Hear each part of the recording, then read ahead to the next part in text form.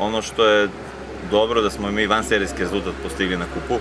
Prošle godine su uzeli samo jednu medalju, to Uroš Mijalković bio treći na kupu Srbije, jer kup najteži u smislu kada sve kategorije se spajaju, znači postoje samo tri težinske kategorije i otprilike se spajaju pobednici iz e, šest kategorije koliko ih ima u karatu. E, znači, juče Marko Rajković radio finale i nije ga izgubio, bilo je nerešeno sa Mišovićem koji je e, državni reprezentativac bio u Portugalu, radio je 0-0 i Golubović Laza koji je osvojio bronzanu medalju. Znači, to je izuzetan uspeh, kažem, posle više godina dve medalje na kupa, samo tri kategorije.